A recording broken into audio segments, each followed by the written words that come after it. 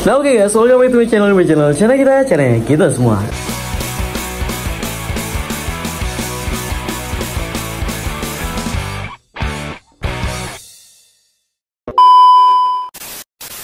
Nah oke okay guys, di kesempatan kali ini kita bakal ngebahas tentang Androw Kita bakalan update Androw kita yang kemarin Yang awalnya kuncup-kuncupan, gak jelas Dan akhirnya sekarang sudah mangap-mangap guys. Jadi ini cerita sedikit sejarah. Kalau kalian lihat di intro kita tadi di sana itu ada Androw mangap-mangap. Jadi Androw itu sudah kita punya itu di tahun 2019 dan setahu saya dulu di Bali ya 2019 itu yang punya Androw mangap-mangap itu cuma saya. Dulu ya 2019 tapi. Itu yang punya Android mangap cuma saya. Dan dulu itu lakunya mahal banget. Dulu kalau beli Android itu harganya 35.000 sampai 50.000 lah babyan kecil banget. Dan itu laku ya dengan di size 6 cm itu sudah laku di harga 500-an dulu. Itu ditukar oranti plus ditambah uang. Zaman dulu itu udah laku udah laku segitu guys. Dan sekarang kita sudah punya lagi Android yang mangap-mangap. Di sini kita bakalan jelasin coba basically ya. Android ini apakah semua bisa mangap-mangap? Sebenarnya menurut saya pribadi Android ini bisa guys. Bisa. Dia tuh tipikalnya sama kayak Stewarti. Stewarti itu sebenarnya semuanya bisa mangap-mangap tergantung dilatihnya dan tergantung seberapa tinggi mentalnya dia Nah sebelum ke Andrau kita bakalan update yang kemarin ini dia. Ini adalah ikan yang kita ngambil di Bang Eka. Ini masih pucat-pucat ya guys ya. Nah nih lihat stewardnya udah terbang nih baru habis makan. Kalau mereka ini aku kasih ulat hongkong Nah bang kenapa sih pakainya ulat hongkong kenapa nggak langsung pelet? Satu kita emang lagi naikin mentalnya mereka. Jadi ikan biar lebih agresif, panas, overaktif Itu kita pakaiin ulat hongkong Tapi yang warna putih ya guys ya. Karena yang warna putih itu lebih mudah dicerna dibandingkan yang warna kuning. Dan yang warna kuning ini kalau dia kemakan itu biasanya bekas kulitnya itu akan dimuntahin dan jadi kotoran di bagian atas-atas apa namanya? Atas-atas uh, airnya. Dan sekarang mereka ini udah aktif. Nah caranya ngajarin biar aktif tuh ini kalian mainin pakai apa namanya nih? Uh, ya kayak karet-karetan gini nih dimainin gini tipis-tipis gitu. Tapi ini karena udah makan jadi nggak terlalu responsif. Terus aku mainin pakai nih oh udah flaring nih. Ih, ya nih. Meskipun dia cuma kayak gitu aja tapi respon awal kalau kalian perhatiin dia waktu dideketin sama patung cana dia tuh sudah kayak nggak takut-takutan apa. Nah kayak gini ini sudah mulai gampang dilatih guys. Tinggal pelan-pelan aja. Dan untuk ikan ini kita belum tahu. Nanti kita ngelatihnya bakalan terusan pakai patung atau pakai kaca. Itu kita belum tahu. Dulu ini kita cerita sedikit juga kalau teman-teman yang ngikutin kita udah lama, kita dulu pernah punya yang size segini, ini size-nya 56. Itu zaman dulu itu sudah mangap-mangap 56 cm. Itu salah satu stewarty terkecil saya yang size-nya 56 cm itu sudah mangap-mangap. Itu kalau kalian mau cek videonya di YouTube-YouTube saya itu ada yang judulnya mungkin update baby stewarty kalau nggak salah. Baby stewarty nah itu yang itu, yang itu udah flaring guys. Oh. Udah mulai respon bagus, oh udah flaring tipis-tipis. Nah, oh. Jadi basically buat teman-teman yang punya stewarty atau andrau karena andrau dan stewarty itu agak ikan-ikan sulit ya nih. Ada yang unik uh, short body, short tail juga. Jadi ada ekor tapi short body dia. Ini kita jual. Oh guys, pay. Cuman emang secara look dia ini kelihatan jelek banget ikannya ya karena emang nggak disetting dengan bagus. Jadinya kayak warnanya nggak nge-up apa gitu. Tapi itu bisa dilatih. Ini yang kuda lumping. Dulu nih awalnya udah flaring duluan. Tapi gara-gara kita sering pindah-pindah mentalnya agak turun dikit. Nah jadi saran saya untuk settingan yang bagus itu gimana aja boleh. Settingan itu yang pasti akan berpengaruh kepada warna ikan kalian. Itu yang pertama. Setelah itu ya rata-rata sih sama warna berpengaruhnya ya. Kalau air pasti itu berpengaruh dengan adaptasi ikan kalian. Kalau air saya pakai air sumur. Suhu itu juga sangat berpengaruh untuk perkembangan metabolisme si ikan dan juga mental si ikan. Itu kalau suhu.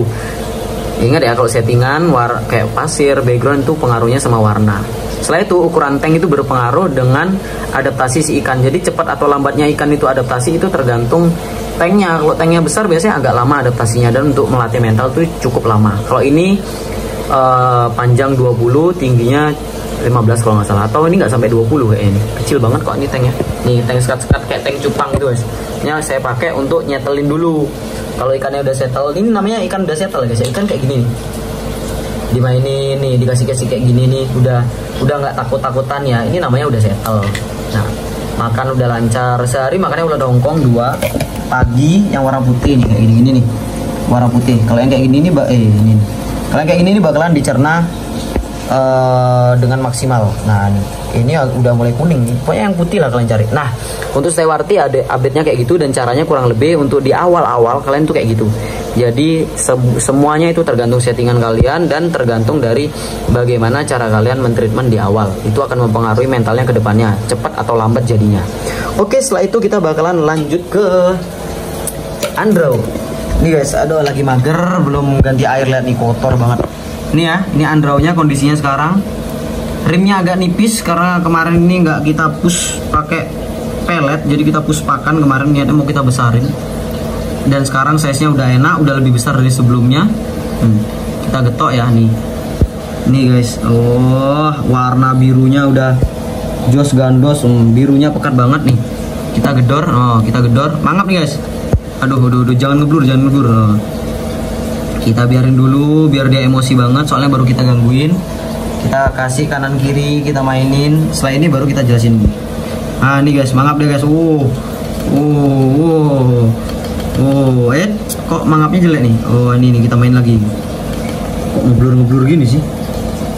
Hmm, hmm, hmm, hmm, hmm. mangap guys. Mangap guys. Oh. Oh mangap nih mangap. Nah sebentar kita kasih makan juga. Sebentar ya. Biasanya kalau ikan tuh habis kasih makan dia akan jauh lebih semangat. Ini kita kasih nggak kasih makan pelet. Kita kasih ulat hongkong dulu. Kita ngejar size size nya pengen kita agak besarin sih. Bentar ya. Nah ini kita kasih ulat hongkong nggak ada yang warna putih akhirnya terpaksa kita kasih ya yang warna kuning tapi yang kecil aja size nya jadi ikan kecil disesuaikan ya. Saya juga milih-milih kalau ngasih guys nih ini kecil nggak terlalu besar. Nih. Ini kita masukin. Nah ini kita pancing dulu dia ke atas. Ini nih. Kita pancing kita masukin. Loh, masuk nggak ulat hongkong ini? Loh. Oh ini? Ah ya itu. Loh ini ini cok nggak dilihat sama dia? Nggak dilihat nggak dilihat. Bentar bentar nggak dilihat sama dia guys. Astaga ini loh ini loh di belakang. Nah itu tuh depan. Nah udah dilihat. Dari makan. Nah untuk yang ini ini belum mau flaring nih guys. Ini kayaknya bakal kita kita pindah settingan, kita pakein background putih ke depannya. Emang tapi secara fisik dia ini emang betina, jadi kalau betina tuh lebih susah nyari mental. Tapi nggak sesusah yang kalian pikirkan susah banget dan nggak mau flaring tuh nggak. Tetap mau flaring tapi agak susah. Nah ini kita mainin lagi, kita kanan kiriin dulu andrownya. Chest, setelah itu kita mainin chest. Kita gedor. Head. Ini mangapnya udah stabil kok ini harusnya guys oh nih ini kalau kayak gini nih udah ciri-ciri mangap nih hmm kita gedor. Kita gedor aja guys. Kita nggak usah kasihan-kasihan udah. Sih bentar. Kita gedor-gedor. Bentar belum. Ah kita gedor lagi. Ah. oh maksa nih mangap nih. Ya belum mau dia. Jir. Nah ini nih. Belum guys. Kayak habis makan masih kecapean dia nih guys. Nah, intinya, Bang gimana sih cara kita bikin mangap-mangap androw? Ini androw kedua kita yang sudah mangap-mangap.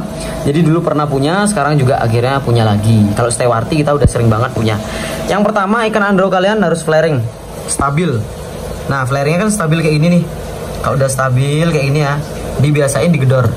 Gedor gitu. Nah, dibiasain digedor. Sering-sering aja gedor bagian ekor, gedor. Oh, mangap guys, mangap guys. Aduh, aduh. Oh kita cobain patung ya, saya nggak pernah nyobain pakai patung. Mau nggak nih pakai patung? Jadi nanti biasain digedor, digedor, digedor. Nanti dia kalau udah udah bisa ngegol, udah enak, dia itu akan mangap dengan sendirinya guys. Hmm. Bentar capean kecapean dia. Biarin dia ngambil udara dulu guys. Kan ngambil udara. Kita nggak tahu kalau ikan udah ngos-ngosan jangan dipaksa jadi kita biarin dulu nah, ini ya flaring lagi. Size nya udah gede banget guys. Beda sama sebelumnya ya. Jadi memang benar-benar kita push sekarang. Kita mau besarin dia guys. Hmm. ah ini dia. Hmm. Ayo le. Mangap le. Gimana nih? Kamu di konten kok nggak mau mangap nih? Ayo lale jangan bikin malu. Masa mangap-mangapnya cuman kayak gitu aja? Kasih lagi jadi buat teman-teman yang latih mental andro kalau yang kepengen mangap-mangap itu kalian yang pertama ikannya harus stabil dulu flaringnya flaring stabil. Kalau flaringnya udah stabil nanti dia posisinya bakalan kayak kalau udah kejet-kejet terus nggak banyak bergerak gini ini capek berarti guys. Kita tarik ke atas biar dia ngambil udara dulu. Kita biarin dulu ya. Jadi kalau ikan udah capek itu jangan terlalu dipaksa juga. Ini coba kita kasih patung. Ini sama sekali nggak mau nih guys bad respon. Nah ini kita biarin dulu dia. Siapa tahu mau ngambil udara. Nah dia udah ngambil udara baru kita mainin. Hmm mentalnya guys. Ini dia. Kita coba lagi buat dia mangap-mangap. Nah ini dia. Dia ini fokus sama kamera loh jadinya nih. Malu-malu dia depan kamera. Nah ini kalau udah di pojok biasanya goyang oh kalau udah di pojok biasanya goyang. Eh sini cok. Wah guys. Dia ini ketika di depan kamera nggak mau mangap-mangap stabil ini guys. Waduh, gimana ini? Giliran nggak di kamera, mangap-mangapnya stabil banget. Nah, jadi kondisinya kayak gini, tapi tetap ya guys ya buat teman-teman yang melihara andrao, saran saya jangan dipus ikannya karena dipus itu nggak bagus banget guys, nggak bagus hasilnya tetap nggak bagus. Jadi kasih makan secukupnya. Ini dipus ya guys ya, ini dipus, tapi ikannya nggak gendut-gendut banget meskipun dipus oh. Jadi masih lah dalam batas wajar. Hmm. Ini dipus nih guys bener-bener dipus kemarin kecil banget. Sekarang udah segede ini om ini dipus jadi pelet uh, perbandingannya 4 lawan 3 hari. Jadi pakan hidup 3 hari peletnya 3 hari. ini hmm, mangap lagi. Mangap lagi ayo mangap. Ayo mangap. Eh malu-malu dia. Ayo mangap mangap yuk. Eh mangap sini. Ayo mangap mangap. Biasanya dia kalau udah goyang goyang goyang digedor tuh mangap dia guys. Kayak ikan sayang dulu juga kayak gitu.